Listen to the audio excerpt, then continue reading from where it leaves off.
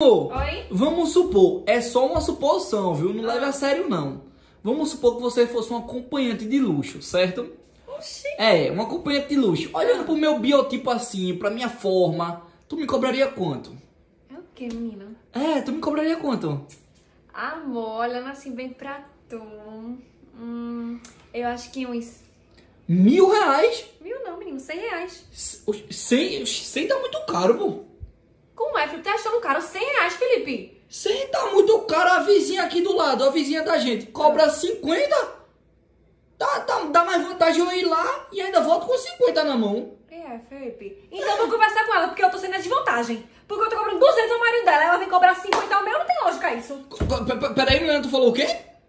Hã? Tu, tu cobra 200 a marido dela? Eu o que, menino? Tu falou o que aí agora? Eu falei que, que o marido dela tem que saber isso que ela tá fazendo, porque isso não é correto. Ela é uma mulher casada e fazendo isso. Não, peraí! Como assim? Como é que tu sabe o valor que ela cobra? Não, é porque o pessoal falou no grupo aí, os meninos.